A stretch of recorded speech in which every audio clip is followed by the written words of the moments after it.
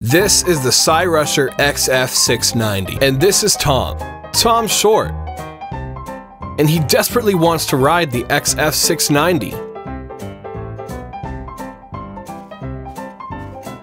But no matter what he tries, it doesn't seem to work out.